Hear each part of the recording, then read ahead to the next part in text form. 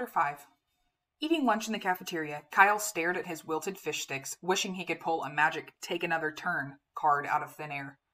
I blew it, he mumbled. Yep, Akemi agreed. You basically did. Can you imagine how awesome that new library is going to be if Mr. Lemoncello and his Imagination Factory guys had anything to do with it?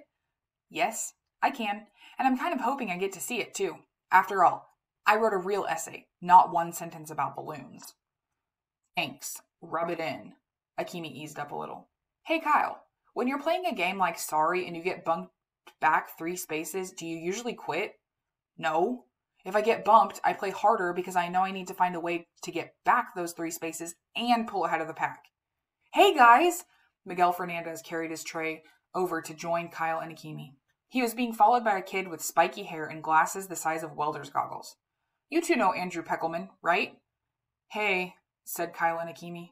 Hello. Andrew's one of my top library aides, said Miguel.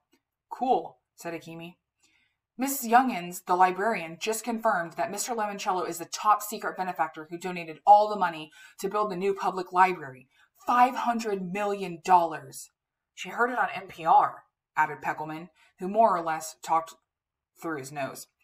So we did some preliminary source research on Mr. Lemoncello and his connection to An- Alexandriaville. What'd you find out? asked Kyle. First off, said Miguel, he was born here. And he had nine brothers and sisters, added Andrew.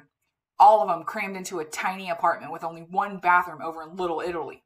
And, said Peckelman, sounding like he wanted to one up Miguel, he loved the old public library down on Market Street. He used to go there when he was a kid and needed a quiet place to think and doodle ideas.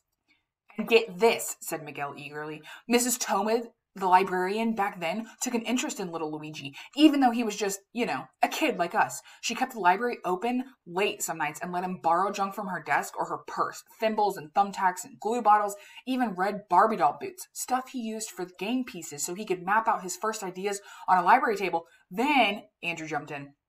Then Mrs. Tobin took Mr. Lemoncello's sketch for Family Frenzy home to her husband, who ran a print shop. They signed some papers, created a company. Within a couple of years, they were all millionaires. But Miguel had heard had the last word. Now, of course, Mr. Lemoncello is a bazillionaire. What are you four nerds so excited about? said Haley Daley as she walked past the gaggle of popular girls in her royal court. Haley was the princess of the seventh grade. Blonde hair, blue eyes, blazingly bright smile. She looked like a walking toothpaste commercial. We're pumped about Mr. Lemoncello, said Miguel. And the new library, said Andrew. And, Kyle said melodramatically, just seeing you, Haley. You are so immature. Come on, girls. Haley and her friends flounced away to the cool kids' table. Check it out, said Akemi, gesturing toward the cafeteria's food line where Charles Chiltington was balancing two trays, his own and one for Mrs. Cameron. I'm so glad you have lunchroom duty today, Mrs. Cameron, Kyle heard Chiltington say. If you don't mind, I have a few questions about how conventions within genres, such as poetry, drama, or essays, can affect meaning. Well, Charles, I'd be happy to discuss that with you. Thank you, Mrs. Cameron, and may I say, that sweater certainly complements your eye color. What a suck up, mumbled Akemi. Chiltington's trying to use his weaselly charm to make sure Mrs. C sends his essay up the line to Mr. Lemoncello. Don't worry, said Kyle. Mrs. Cameron isn't the final judge. Mr. Lemoncello is, and since he's a genius, he will definitely pick the essays you guys all wrote. Undoubtedly, said Peckleman. Thanks, Kyle, said Miguel. I just wish you could win with us, said Akemi. Well, maybe I can. Like you said, this is just a move back three spaces card. I take a walk on the boardwalk when someone else owns it. It's a shoot in Chutes and Ladders. A detour to the molasses swamp in Candyland. Yo, Kyle, said Miguel, exactly how many board games have you played? Enough to know that when that you don't ever quit until somebody else actually wins. He picked up his lunch and headed for the dirty tray window. Akemi called after him. Where are you going?